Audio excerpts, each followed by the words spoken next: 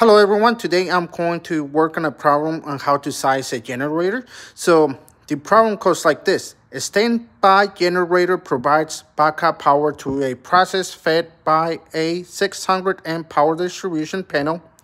The process uses four 100 horsepower pumps, each having an efficiency of 85%, four three-phase motors driving the pumps, operates at 480 volts and have a power factor of 0.8.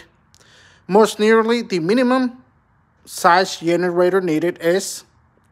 So the first step is we're going to use the efficiency equation to calculate the power needed to provide 100 horsepower to the pumps. So this is the efficiency formula. Efficiency equals useful power output divided by the total power input.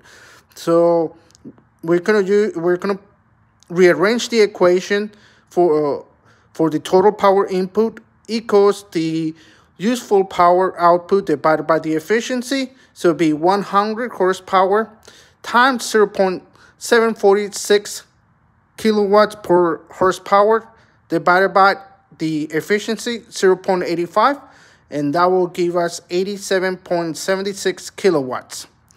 Then the second step is we're going to use the equation for power to find the current drawn by each motor. Because the motors are three-phase, the voltage is multiplied by square root of 3. So here's the formula. So be the power equals the voltage of the motor times the current of the motor times the power factor. So now we're going to find the current. So be P divided by the voltage times the power factor. So we plug in the 87.76 kilowatts divided by square root of 3 times 480 volts times 0.8 of the power factor. And that will give us 131.9 amps.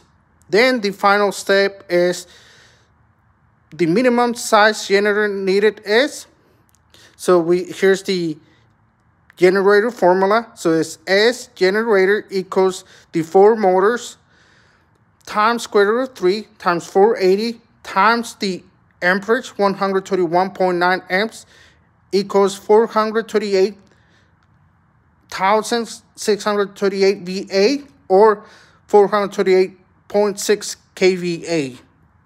So if you like this type of content, give it a like or comment below. Thank you.